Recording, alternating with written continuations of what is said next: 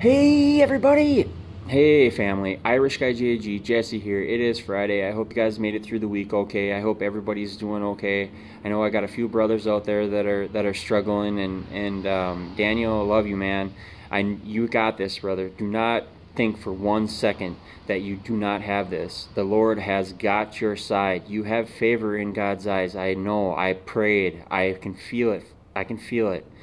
I talked to the Father, and you have favor in His eyes. You just need to make the right decisions, man, and you are doing that. So I commend you, and I pray, and I love you, brother. Keep it up.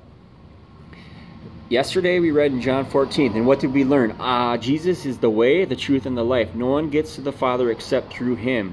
That is very important. And if you guys read the Gospels, then you'll know that Jesus came, he was born, he lived a sinless, blameless life, and then he was executed and, and, and died a criminal death.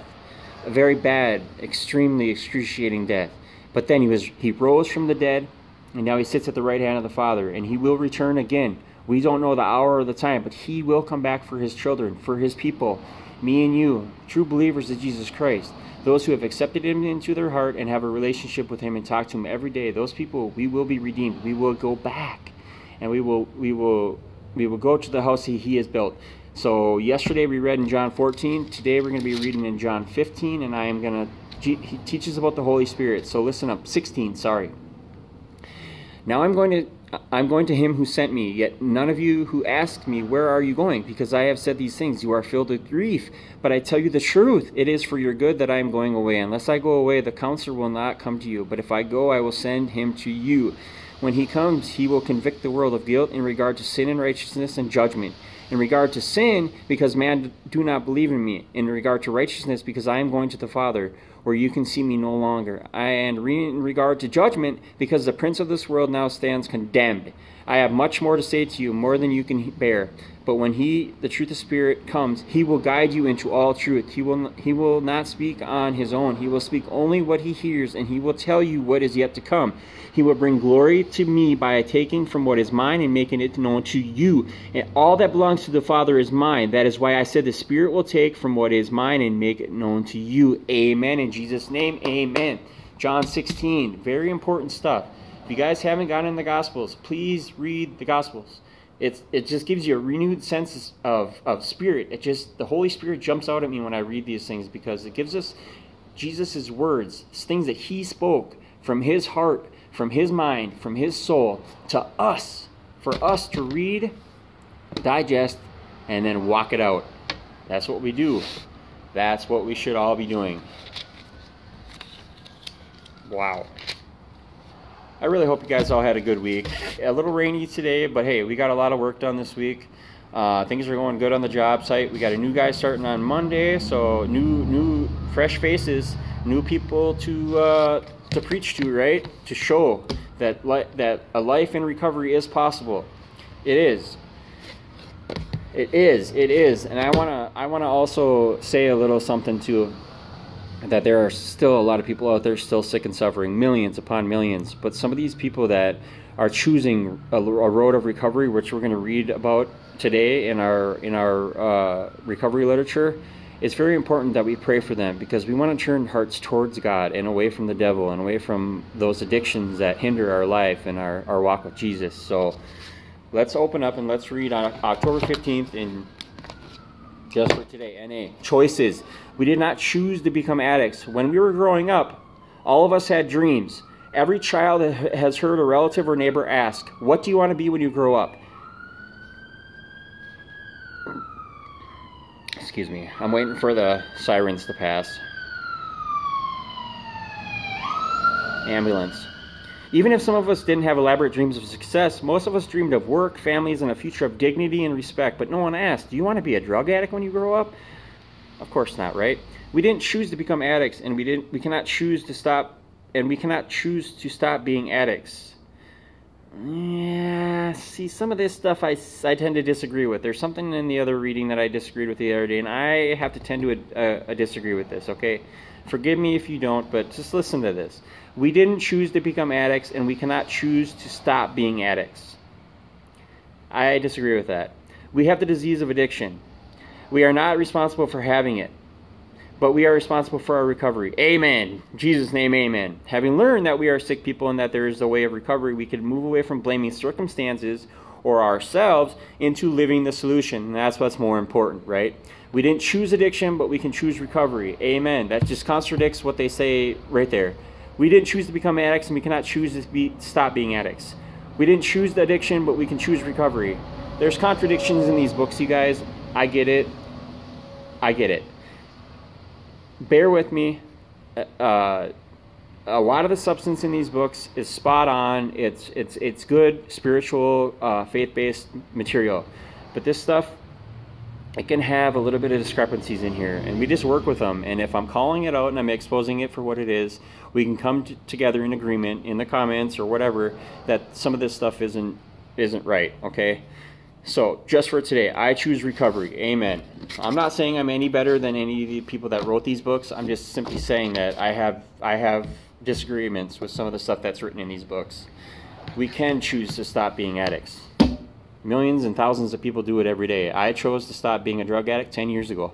I stopped I chose to stop being a, a alcoholic almost 3 years ago. It can be done. And a lot of you guys that I know on here that I talk with on and off YouTube are choosing not to be alcoholics, are choosing not to be drug addicts. So it can be done, and we are doing it together through a relationship with Jesus Christ. Amen. I am deeply grateful to AA for what it has done for me in regaining my sobriety and opening up an entirely new life for me. AA, the body of Christ, has made it possible for me to carry on interests other interests in business and in various other associations with people. It has made a full life possible for me and you. It would perhaps be wrong if all my activities were limited to AA work. It has made me a well rounded life possible for me in work, in play, and in hobbies of various kinds. But will I desert AA because of this? Will I accept a diploma and become a graduate of AA? Do I realize that I could have nothing worthwhile without AA? Meditation for today. There is only one way to get a full satisfaction from life, and that is to live the way you believe God wants you to live. Amen. By reading His Word. Live with God in that secret place of the Spirit that you will have a feeling of being on the right road. You will have a deep sense of satisfaction. The world will have meaning, and you will have a place in the world. Work to do that counts in the eternal order of things. Amen. Many things will work for you and with you as long as you feel you are on God's side. Amen. Talk to God. Pray to God. Talk to Him. He will talk back. Prayer for the day. I pray that I may have a sense of the eternal value of the work I do. I pray that I may not only work for now, but also for eternity. Repeat. Rewind. I pray that I may have a sense of the eternal value of the work I do. I pray that I may not only work for now, but also for eternity. Amen. Some good stuff. See? See? 300 and 60 out of 365 days uh, in those books, uh, those daily readings, are good. Concrete, spiritual advice, wisdom, guidance, whatever you want to call it. But it's it's food for thought, you guys. It's it's things to pick up and then apply to your walk. If you're suffering with drugs, get the book and read it every day. It does wonders. If you're suffering from alcoholism, get the AA book, read it every day. 24 hours a day is what it's called. It is it's it's an amazing thing. And if you're suffering with sin, get the big book. Get the big book. And if you don't have one, I'll send one to you free of charge if you're in the USA. Get the big book. I'm telling you, it does wonders. So we got drugs, we got alcohol, and then we got everything else in between, including those things we learn to abstain from and live a life in recovery from the Bible, okay? I'm not going to beat it up too hard. I'm not going to beat that drum too hard, but I just cannot get enough of God's word and what it tells us and teaches us. So now I would like to pray. And I would also, at the end of that, I would also like to tell you about a new channel that I found. So before I do that, let's pray for the still sick and suffering, okay? Whew, I can feel it. I can feel it. I can feel it. Oh, I thought I heard it too. Father God, I just pray that you fill every person's heart that are still sick and suffering out there with an ounce of hope, Father. Fill their cup up with, with inspiration, guidance, hope, reassurance, refuge, everything that comes with a relationship with Jesus Christ and knowing God the Creator, everything that comes with that, Father, I just ask you to fill those people's hearts with some hope. Some hope, Father. Turn their hearts towards you. Show them something on their path show something on their walk, show something in, in their everyday life that, that they can relate to finding Jesus and finding recovery and abstaining from the things that they put in their bodies that makes their mind unwell, Father. I pray for the people that are choosing recovery over addiction. I pray for those who are, are continuing the fight and have been continuing the fight. And I also pray for people that have lost loved ones to this disease. And I, I, I honor their commitment to trying to teach others about a life of recovery um, due to the consequences that others have faced. And, and we also, Father, ask you for wisdom and guidance. We also ask you for all the things to say and work through us and work through these channels, work through some of these channels that are that are displaying what what what you've taught us and reading from what you've taught, and just give us the words to say and give us the give us the um, the motivation to do these videos every day, Father, and just put it in our hearts that it's an important job and important work to try and help others. And in Jesus' mighty name, I pray all this. So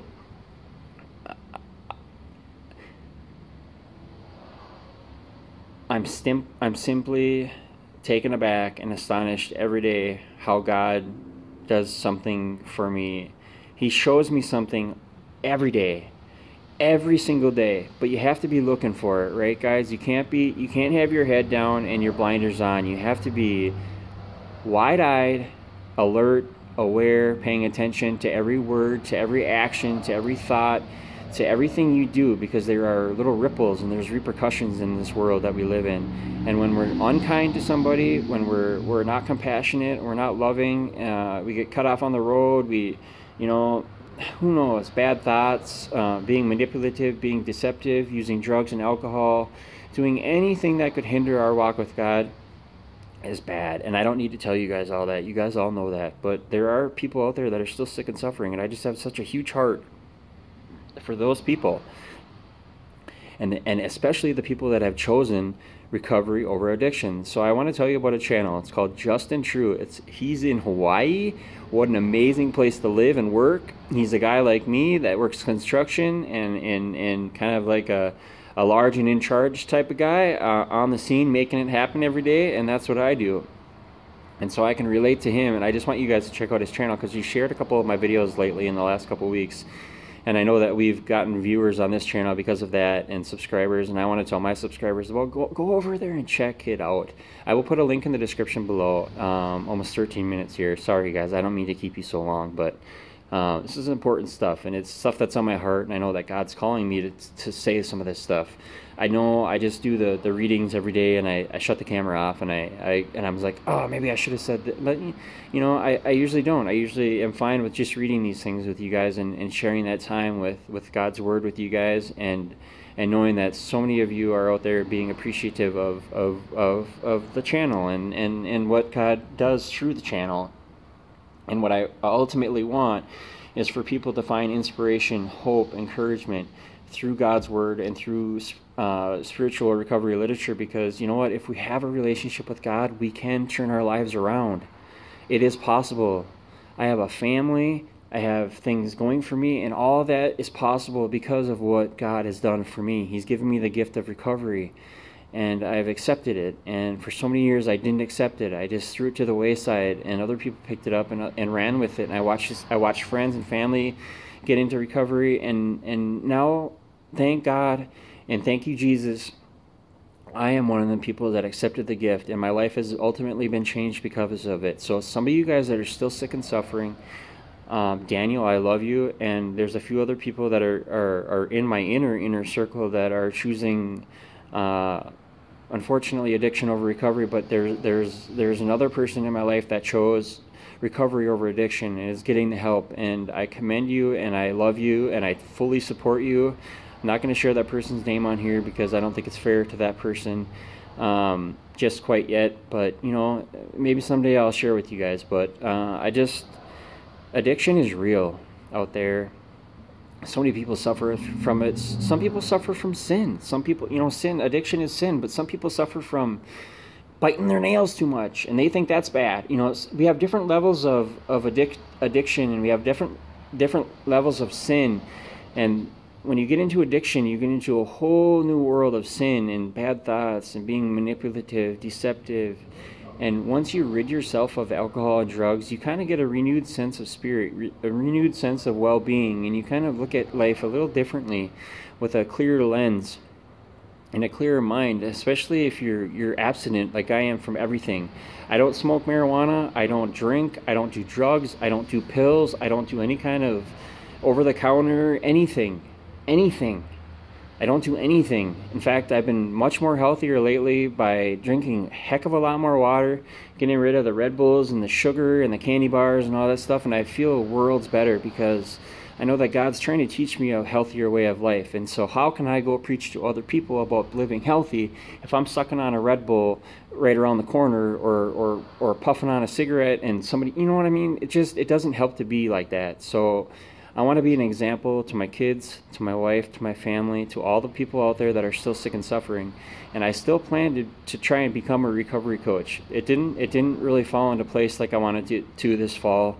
Um, I wasn't able to, to get into the program, uh, the recovery coach program, like I thought I was going to. And so, you know what? It's God's timing and it's God's will. And I'm not going to sit down here and say boohoo for me. It's not boohoo for me. I have a good job. I have uh, awesome boss. I have awesome coworkers.